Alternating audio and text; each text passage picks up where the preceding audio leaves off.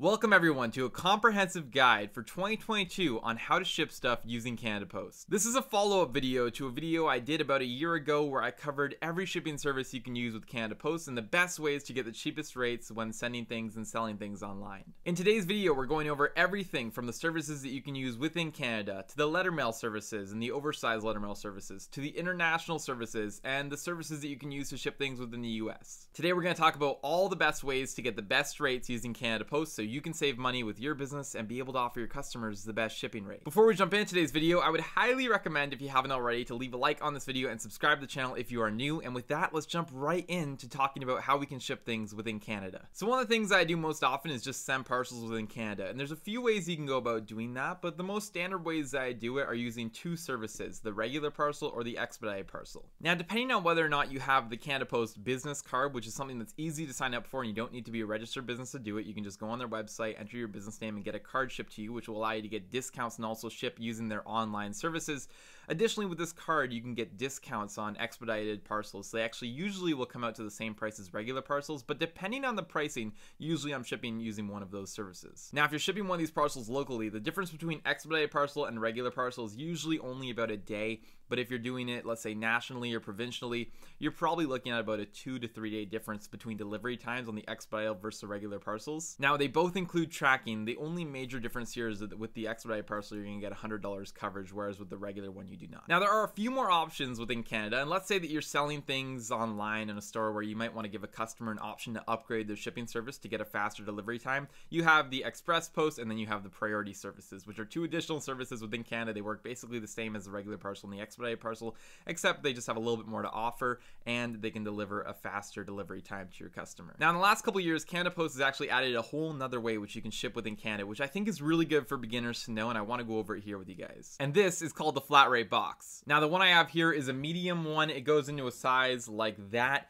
probably could fit a pair of shoes or something like that. Now, I don't use these all too often, I'll be completely honest, because the price is usually a little bit more expensive than a regular expedited parcel. Now, the way these work is they're a set dimension, and you can use them to ship anything anywhere within Canada. Now, for beginners, this is great because you can pay one set cost, charge a customer one set cost, and as long as you know that your item fits within that box, you're good to go, and you're not going to have any unpredictable shipping charges. Now, the problem that I run into is the price. The small one runs you about $18.50, the medium one runs you about $23.50, and the large one $30 which most of the time, depending on where you're going, is actually more expensive than just shipping something as you normally would with an expedited or regular parcel. However, there are certain cases where you will get a better rate using a flat rate box than with a regular parcel. Now, additionally, they all have a maximum weight of five kilograms. So again, if you're going over that weight, they're not going to be a solution for you. However, if you're a beginner seller and you just want an easy rate that you can charge everybody and your item will fit into that box, and that's going to be a great solution. And additionally, it might be something worth checking if you're maybe paying way too much on a regular or expedited parcel and you think you can get your item in one of those and get a better rate. Now let's move on to my favorite shipping method within Canada for shipping small goods for a really cheap price. This is by far the question I get asked the most, which is how do I do this? How do I sell things with $3, $2, $1 shipping within Canada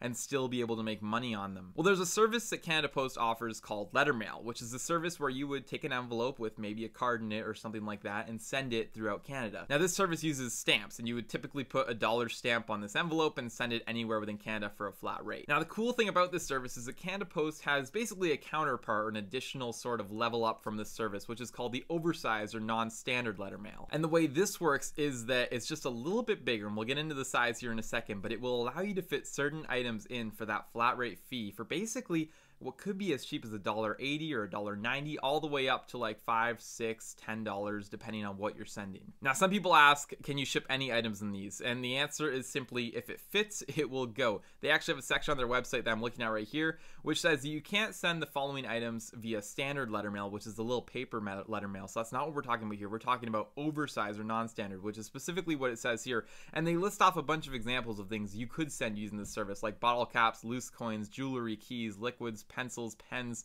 seeds, anything like that. So they do obviously allow you to ship things that are not just paper in this service. Okay, so the sizing, weight, and pricing of these are actually much more simple than it may seem. The way that it goes basically is that you can have a bubble envelope like this. This is, for example, an envelope that I would use shipping DVDs or video games or some other items that would fit in this. And the key to the oversized letter mail is called the slot, which is the thickness of the parcel. And in this case, the thickest you can go with non-standard oversized is 0.8 inches, and I believe that's 20 millimeters. Now, for anybody wondering, a video game plus the bubble wrap on it basically gets you to that 0.8 inches. Now, the maximum length and width for one of these parcels is 14.9 inches by 10.6 inches or 380 by 270 millimeters. This here is a 9 by 7 inch, so this is well within the size. You could probably double it up and get a whole nother game in there and still be able to fit through the slot as long as you're not going over that allowed 0.8 inches thick. So they all work with that size. Now the pricing comes down to what the item weighs inside. For example, under 100 grams, you're only paying $1.94 for this item, and then over 100 but under 200, paying 319.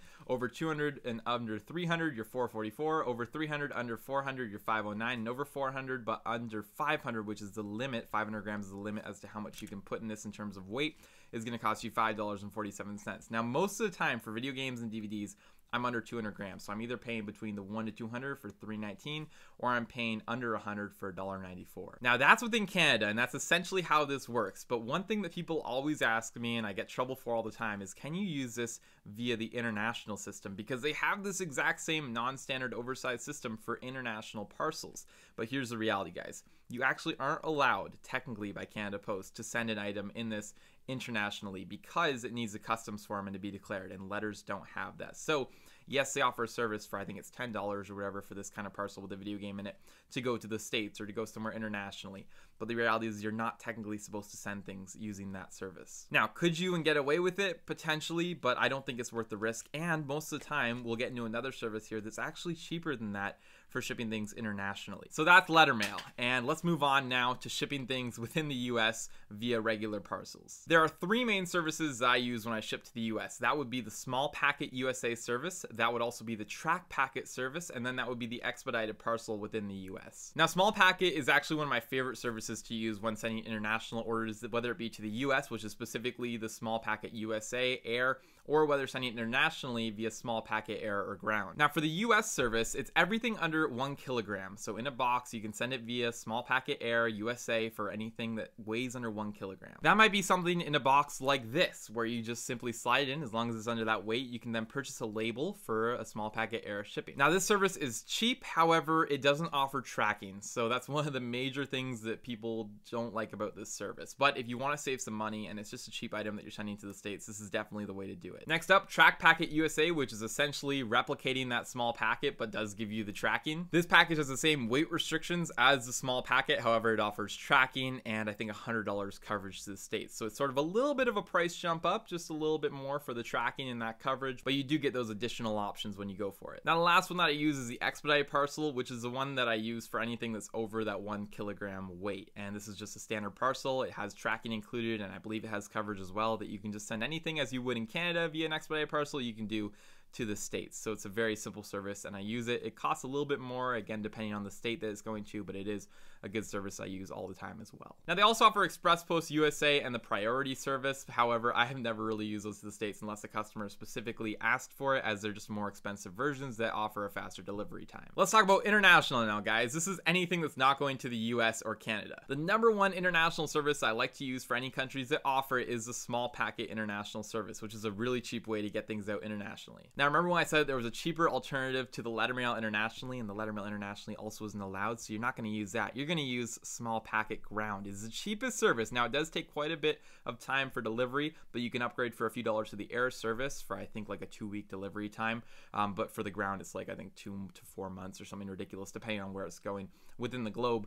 However, this is going to be the cheapest service internationally. There's been a lot of times when I've been able to get parcels or video games out for 8 or $9, which is definitely cheaper than the letter mail rates. Now, the cool thing and one of my favorite things about the small packets going internationally is the weight limit. They actually raised it to 2 kilograms for all your international parcels. This is a really cool thing. It allows you to ship a lot more items internationally for really cheap. Now, like I said again, they have the air and ground options. The difference is usually a few dollars, but the time difference is huge. So most of the time, if I can, I'm shipping via the small packet air, uh, as then it will get to the customers much quicker. But if your customers are okay for a few dollars savings for a longer delivery time, you can definitely use the ground option as well. Okay, next up we have the Track Packet International, basically the same as the Track Packet USA. It's a small packet, but it offers tracking and coverage for an additional cost. And then the next step up from that, you get the International Parcel, which is basically the equivalent of an expedited parcel within Canada or a regular parcel. You're just sending a good old box that's over two kilograms anywhere around the world, and they're charged based on the destination that it's going to. Now, here's the unfortunate thing about the International Parcel is that it doesn't offer tracking, which means for less money, if you had an item that just weighed two two kilograms, you can send it as a track packet and get that tracking option. But unfortunately, you're not going to get the tracking for the international parcel. So you might have to step it up to the express post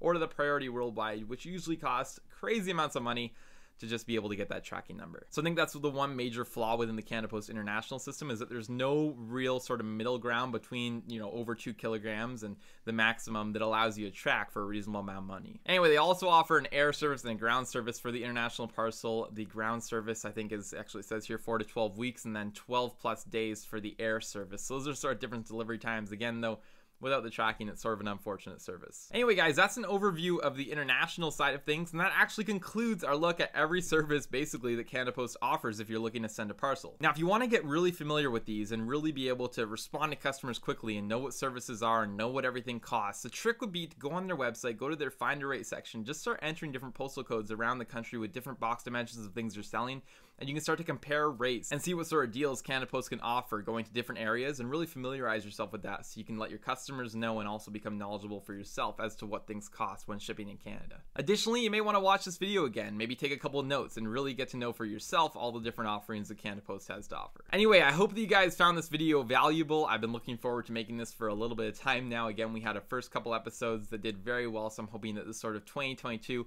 updated version will also help a lot of you guys out. With that, again, I'll ask if you enjoyed the video, if you could go down below and smash the like button, I would really appreciate it. Any comments, questions that you have down below, please let me know. I'll try to get back to you guys. Subscribe to the channel if you're new, and I'll see you guys all in the next video.